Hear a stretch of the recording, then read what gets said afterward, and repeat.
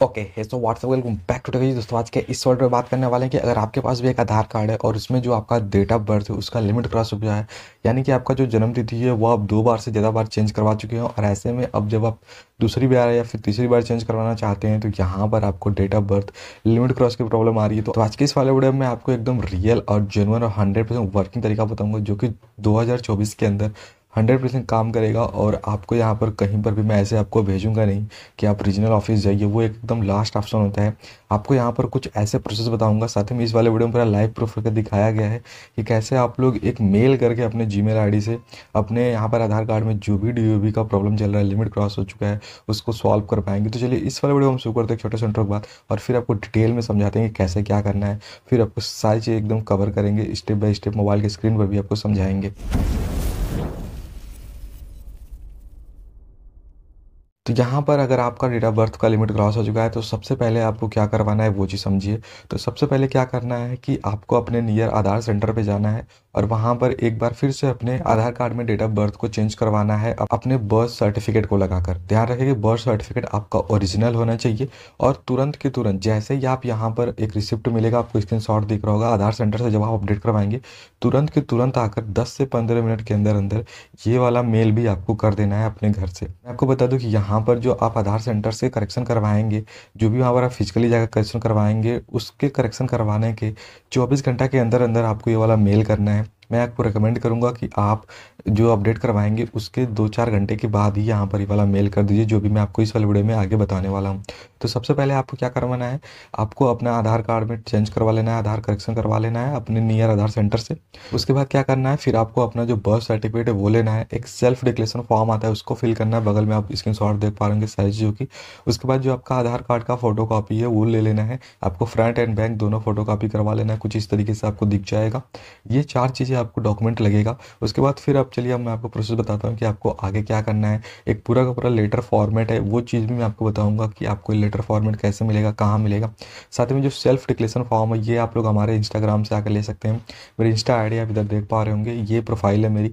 प्रदुम विश्वकर्मा नाम लिखा है एट द रेट टेक है जो आप सर्च करेंगे, आपको ये वाला जो मेरा इंस्टाग्राम का अकाउंट है, वो मिल जाएगा। यहाँ से अगर आप हमसे हिंदी वाला सेल्फ डिक्लेरेशन फॉर्म ले सकते हैं, साथ ही में यहाँ पर जो पूरा का पूरा लेटर है, ये जो मैं लिखूँगा आगे वीडियो में, वो सबका सब भी आपको वहीं से मिल जाएगा। तो चलिए शुरू करते हैं बट आपको एक प्रोसेस जैसा कि मैंने भी बताया है सबसे पहले आपको अपना आधार करेक्शन करवाना है, उसके बाद ये प्रोसेस करना है, उसी दिन तुरंत एक से दो घंटे बाद। तो चलिए लेके चलते हैं मोबाइल की स्क्रीन पर और वहाँ पर अब आप पूरा डिटेल में समझाते हैं कि कैसे आपको यहाँ पर अपने डेट ऑफ़ बर्थ को, जो लिमिट क्रॉस हो चुका है उसको सुधारना है और बहुत ही ईजी प्रोसेस से यहाँ पर ये वाला काम हो रहा है और ये हंड्रेड परसेंट वर्क भी कर रहा है। तो चलिए शुरू करते हैं। तो फाइनली गए हम आ चुके अपने मोबाइल की स्क्रीन पर और अब चलिए आपको बताते हैं पूरा प्रोसेस जो आपको करना है। Date of birth limit cross solution के लिए। तो सबसे पहले आपको क्रोम ब्राउज़र पे आ जाना है और यहाँ पर आपको सर्च करना है यू आई डी ए आई इस तरीके से आपको सर्च करना है और U I D A I search करने के बाद आपके सामने आधार कार्ड की ऑफिशियल वेबसाइट ओपन होकर आ जाएगी। इसको आपको टैप करके ओपन कर लेना है। ओपन करने के बाद फिर यहाँ पर आपको क्या क्या चीज़ें करनी है वो आपको मैं बता दूँ। यहाँ पर आपको लैंग्वेज इंग्लिश चूज़ करनी है। इस तरीके से पेज खुल के आएगा और आपको एकदम नीचे आ जाना होगा लास्ट में। तो सबसे पहले आप देख पा रहे हैं यहाँ पर आपको एक स्टेट का ऑप्शन आ रहा है। यहाँ पर चूज़ करके अपना स्टेट चूज़ कर लेना है, जैसे कि मैं उत्तर प्रदेश चूज़ कर लेता हूँ। अब यहाँ पर आप देख पा रहे हैं कि जो आपको यहाँ पर दिख रहा है उत्तर प्रदेश, उसके लिए एक रीजनल ऑफ़िस मिल जा रहा है, यानी कि जो वहाँ पर आधार कार्ड का पूरा का पूरा हब होता है सेंटर होता है, वहीं से सारी चीज़ें मैनेज होती हैं। तो आप यहाँ पर डायरेक्ट जाकर ये काम करवा सकते हैं, या तो फिर आप इसको ऑनलाइन घर बैठे भी करवा सकते हैं। उसके लिए आपको क्या करना होगा, यहाँ पर एक मेल आईडी दिख रही होगी, इस मेल आईडी पर आपको पूरा का पूरा मेल भेजना होगा, ठीक है? तो क्या करना है आपको? इस मेल आईडी को आपको कॉपी कर लेना है या जस्ट इसी पे आपको टैप कर देना है। आप इस पर टैप करेंगे, ये आपको ओपन कर देगा जी वाले एप्लीकेशन में। अगर आपको इस तरीके से समझ में नहीं आ रहा तो मैं इसको बैक करता हूँ एक बार से। और यहाँ से आपको क्या करना है? इसको कॉपी कर लेना है। कॉपी करने के बाद अब जस्ट आपको जी का एप्लीकेशन आपके फ़ोन में ढूंढ लेना होगा और उसको ओपन करना है। ओपन करने के बाद फिर आपको जो भी मेल आईडी हो, उस पर आपको इस बटन पे आना है कंपोज वाले पे। कंपोज पे आने के बाद जो आपने कॉपी किया था, वो इस तरीके से डाल देना है आपको help at the rate U I D I dot G B dot in इस तरीके से उनका जो मेल आई डी है, वो सेव हो जाएगा। अब सब्जेक्ट में आपको क्या लिखना है? यहाँ पर आप देख सकते हैं ध्यान से। सब्जेक्ट में आपको लिखना है Aadhaar card D O B limit cross problem इस तरीके से आपको लिख देना है। चलिए मैं आपको लिख के दिखाता हूँ। ध्यान रखें कि ये मेल आपको तभी करना है जब आप आधार सेंटर से अपना एक बार अपडेट करवा के आएँ भले ही वो बार बार रिजेक्ट हो रहा है, लेकिन आपको अपडेट करवाना है। उसके बाद जैसे ही आप आधार सेंटर से अपडेट करवा के आएँ, उसके एक घंटे, दो घंटे बाद आपको ये वाला मेल कर देना है, ठीक है? आप सारी चीज़ें पहले से रेडी रखिएगा। तो इस तरीके से आपको क्या करना है? Aadhaar card D limit cross problem ये डालना है। उसके बाद यहाँ पर अब आपको एक लेटर लिखना है पूरा का पूरा, एकदम अच्छे से। तो वो लेटर मैंने कॉपी कर रखा है ऑलरेडी टाइप कर रखा है। तो उसको मैं आपको प्रोवाइड कर दूँगा, अगर आप बोलेंगे मेरे को तो। तो यहाँ पर आप देख पा रहे वो इस तरीके से पूरा लेटर है। मैं इसको लिख के रखा हूँ अपने नोट पैड में। और इसको मैं पूरा ऊपर से नीचे तक इस तरीके से कॉपी करूँगा। आप देख पा रहे होंगे पूरा इस तरीके से आपको कॉपी करना है। और पूरा का पूरा कॉपी करने के बाद यहाँ पर एक चीज़ और है, इसको भी मैंने पूरा का पूरा आपको कॉपी करके बता रहा हूँ। सारी चीज़ आप पूरा डिटेल में इस तरीके से है। इसको मैंने लिख रखा है, इसको कॉपी करना है। कॉपी करने के बाद जस्ट आपको यहाँ पर आना है और इस तरीके से पेस्ट कर देना है। अब पेस्ट करने के बाद इधर आप देख पा रहे हैं आपको क्या क्या चीज़ें हो रही हैं। तो आपने एक मेल एक तरीके से लेटर लिखा है किसको? To the unique identification department of India यानी कि U I D I subject क्या है आपका? आप देखिए, Aadhaar card date of birth limit cross update उसके बाद आप यहाँ पर आप देखिए कि आपको क्या क्या इसमें चेंजेस करने हैं, जैसा कि मैंने इसको अपने नाम से लिखा हुआ है। तो यहाँ पर पहले मैं इस पार्ट को हाईलाइट कर देता हूँ। जो जो यहाँ पर आपको बदलाव करना है। यहाँ पर ये बोल्ड आपको जो मैंने कर रहा हूँ, जो जो मैं बोल्ड कर रहा हूँ, ये चीज़ आपको अपने यहाँ पर बदल लेना है। इस तरीके से और यहाँ पर आके आपको जो है इस तरीके से बदल लेना है। अब ध्यान से देखिए, आपको सेम लिखना है आई एम आपका जो भी नाम हो Pradum Vishwakarma permanent residence of Varanasi, Teliyabag near Anand Mandir cinema hall ये मेरा एड्रेस है। इसकी जगह आप अपना एड्रेस लिखेंगे। उसके बाद लिखना है my Aadhaar card D O B limit cross by mistake I need update my Aadhaar card D O B please help team update my Aadhaar card D O B as soon as possible उसके बाद यहाँ पर आपको देखिए क्या लगाना है नीचे में। My all documents for verification, जैसे कि आपको अपने आधार कार्ड की कॉपी लगानी है, आपको अपना बर्थ सर्टिफिकेट देना है ओरिजिनल उसके बाद सेल्फ डिक्लेरेशन फॉर्म आपको मिलेगा। सेल्फ डिक्लेरेशन फॉर्म आपको हिंदी वाला मैं अभी आपको दिखाऊँगा, साथ ही उसको फिल करना भी इसी वाले वीडियो में बताऊँगा तो ध्यान से बने रहिएगा। उसके बाद आपको जो एनरोलमेंट स्लिप रहेगा, जो कि आप अपडेट करवाएँगे आधार सेंटर से, एक घंटा पहले, दो घंटा पहले, वो वाला स्लिप यहाँ पर आपको चाहिए होगा, उसके बाद यहाँ पर आपको अपना नाम लिखना होगा, ठीक है? नाम लिखने के बाद अब आपको बता दूँ, यहाँ पर ये नोट करके लिखना आप लोग थोड़ा सा मैं इसमें स्पेस दे देता हूँ। इस तरीके से आपको लिखना है नोट और इस वाले को टाइप करना है नोट को और इसको आपको बोल्ड कर देना है, साथ ही में इटैलिक या फिर आप इसको अंडरलाइन कर सकते हैं। साथ ही में इसका आप कलर यहाँ से चेंज कर सकते हैं, जो भी आपको यहाँ पर अच्छा लगे, सारी चीज़ आप इस तरीके से कर सकते हैं। उसके बाद यहाँ पर नोट करने के बाद अब आपको इस तरीके से लिखना है और ये नीचे का जो पूरा सिस्टम है, आप देखिए क्या है। सबसे पहले आपको जो आपका आधार में नाम है वो आधार, आपका आधार संख्या, उसके बाद जो आपका अभी फ़िलहाल आधार कार्ड में जन्म तिथि है वो, और जो आप करेक्शन के बाद चाहते हैं जन्म तिथि वो यहाँ पर लिखना है।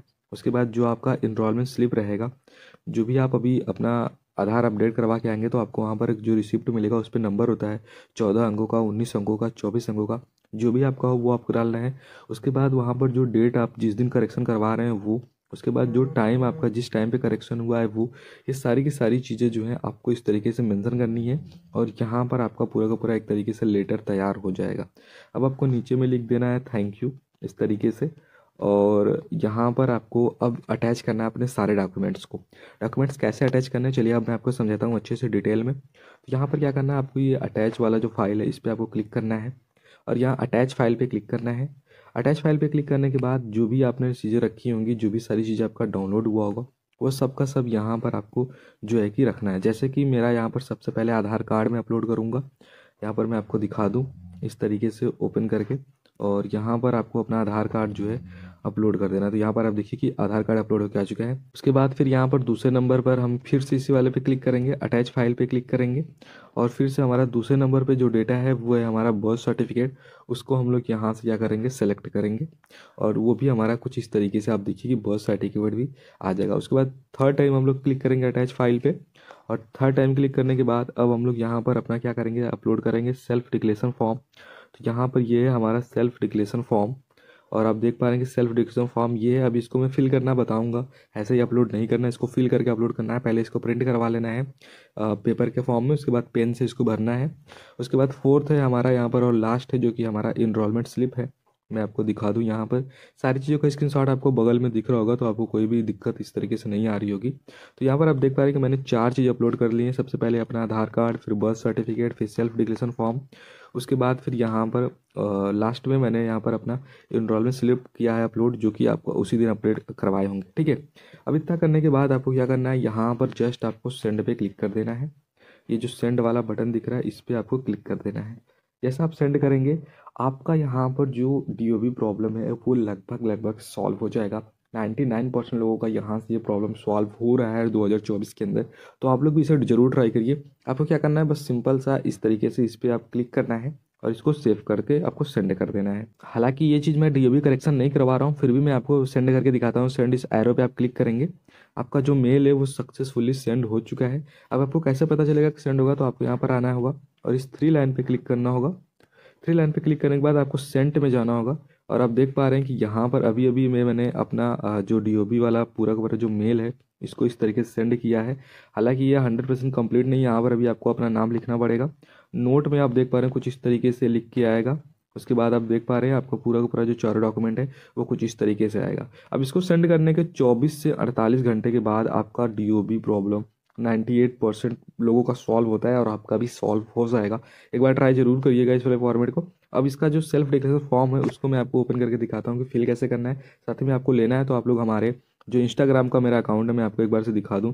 आप देख पा रहे कि ये है मेरा इंस्टा अकाउंट आपको यहाँ पर आकर मुझे मेल करना है फॉलो करके, फिर आपको वहाँ पर मैं पीडीएफ प्रोवाइड कर दूँगा। अब चले मैं आपको फिल करके बताता हूँ। तो यहाँ पर आप देख पा रहे हैं कि मैंने सेल्फ डिक्लेरेशन फॉर्म ओपन कर लिया है। अब यहाँ पर सबसे पहले आपको अपना नाम देना होगा, अपने फादर का नाम देना होगा, अपना पूरा का पूरा एड्रेस यहाँ पर आपको अपना आधार नंबर देना होगा। उसके बाद यहाँ पर आपको अपना जो सही वाला डेट ऑफ़ बर्थ है, वो देना है। ठीक है, आप ध्यान से पढ़ भी सकते हैं। यह प्रार्थी की सही जन्म तिथि है, जबकि प्रार्थी के आधार नंबर आपको यहाँ पर दे देना है, मैं गलत जन्म तिथि आपको यहाँ देना है। सब चीज़ हिंदी में लिखा हो आप पढ़ सकते हैं। यह प्रार्थी अपने पूर्व आधार में किए गए अपडेट के बावजूद दर्ज जन्म तिथि पुरानी वाली के स्थान पर सही जन्म तिथि यहाँ पर आपको नई वाली देनी है। अपडेट करना चाहते हैं, जिसके प्रार्थी जिसके लिए प्रार्थी दस्तावेज़ प्रस्तुत कर रहा है, जो भी आप दस्तावेज़ प्रस्तुत कर रहे हैं, जैसे कि अगर आप यहाँ पर एक बार मैं आपको दिखाता हूँ इसको रेड कलर करके। इस जगह पे आप बर्थ सर्टिफिकेट दे रहे हैं तो आपको जन्म प्रमाण पत्र हिंदी में लिख देना होगा, वो आपको यहाँ पर लिखना होगा, ठीक है? उसके बाद यहाँ पर आप देखिए कि प्रस्तुत जन्म तिथि अनुरोध प्रथम बार है। अगर आपको पहली बार जन्म तिथि करेक्शन करवा रहे हैं तो आपको पहले में टिक करना है, बट यहाँ पर सेकंड टाइम हो रहा है तो आपको सेकंड टाइम वाले में टिक कर देना है। उसके बाद यहाँ पर डेट देना है, आपको अपना नाम देना है, सिग्नेचर करना है, यहाँ पर आपको नीचे वाले में उसके बाद फिर आपका जो है काम पूरा यहाँ से यहाँ तक हो जाएगा। और ये पूरा जो फॉर्म है वो भरने का प्रोसेस कंप्लीट हो जाएगा। इसको आपको प्रिंट करवा लेना है। ये फॉर्म आपको चाहिए तो आप लोग हमको इंस्टाग्राम पे मैसेज करिए, जैसा कि भी हम आपको पीछे दिखाया है। और वहाँ से आप कर लीजिए। बाकी कुछ इस तरीके से आपको अपने बाकी कुछ इस तरीके से आपको यहाँ पर आप देख पा रहे हैं कि अपने डेट ऑफ़ बर्थ की लिमिट प्रॉब्लम को सॉल्व करना है, जो लिमिट क्रॉस हो चुका है। ये एकदम ही अपडेटेड और लेटेस्ट तरीका मैंने आपको बताया, जो भी चल रहा है। बाकी आप अपने लिए, अगर आपके नज़दीक में आपका हेड ऑफ़िस हो, यानी कि यू आई रीजनल ऑफ़िस हो तो वहाँ पर आप जाके सारी चीज़ें फिजिकली करवा सकते और अगर आप दूर हैं, काफ़ी प्रॉब्लम आएगा आपको रीजनल ऑफ़िस जाने में तो आप कुछ इस तरीके से मेल भेजकर भी अपने प्रॉब्लम का सोल्यूशन कर सकते हैं। तो कहीं उम्मीद करते हैं कि मैंने आपको पूरी कंप्लीट डिटेल में जानकारी शेयर कर दी है कि कैसे आपको 2024 के अंदर date of birth limit problem को सॉल्व करना है। अगर आपको वीडियो पसंद आई हो तो यार प्लीज़ वीडियो को लाइक करिएगा चैनल पर पहली बार हो तो सब्सक्राइब करिए। हम मिलते हैं आपसे किसी और नए वीडियो में, किसी और नए टॉपिक के साथ। तब तक के लिए बाय जैन थैंक यू